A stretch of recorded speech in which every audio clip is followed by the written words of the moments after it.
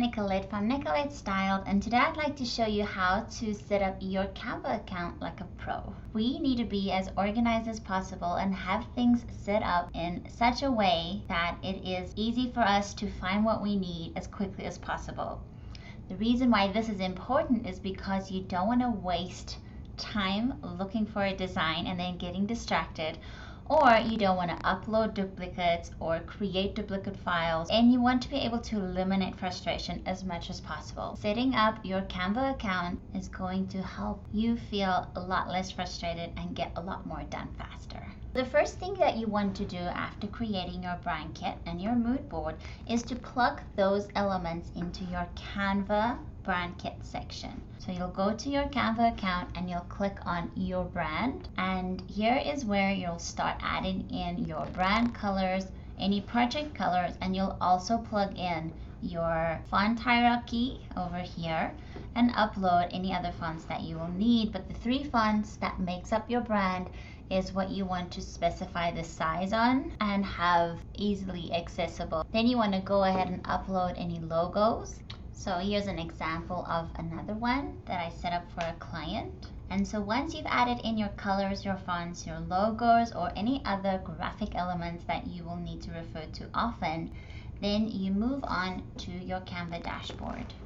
You go to all your designs and you want to make sure that you set up a few design folders. You can have project folders or design folders, but setting these up will make your life a whole lot easier. In Canva Personal, you'll be able to create up to two folders and then if you love this function, you will have to upgrade. Once you're in your design, you're going to want to make photo folders and you're not going to have that many options in Canva Personal. You can get a lot more organized and strategic about your visual strategy when you've got Canva for Work. In Canva Personal, you're going to have your general uploads, you're going to have the purchase category, and it's going to pull in images from your Facebook if you connect your Facebook account. If you have Canva for Work, what I suggest you do is you're going to have this first folder is going to be from the logos and the graphics that you imported in your brand kit.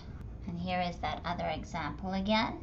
The next one that I suggest you have is your bio pictures, your branding elements. So you can split these up if you want to have them be patterns and elements, or you can just have branding elements.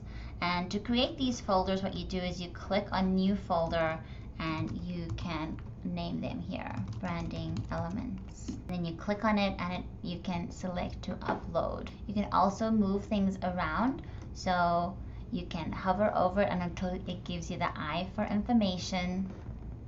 You can delete a folder and you can expand it and hover over it for the information and then move it to any of the other folders.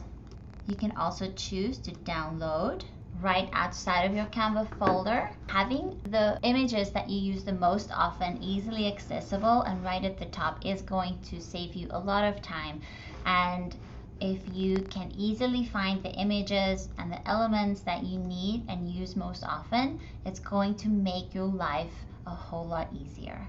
So once you've added your logos and your brand elements, once you've created project folders and you've created photo folders, the last thing that you want to do is to make sure that you're saving things in a way so that it's easy for you to find when you're searching for it in the search box. And you can also personalize your background. And that color is going to be the first color in your brand colors over here.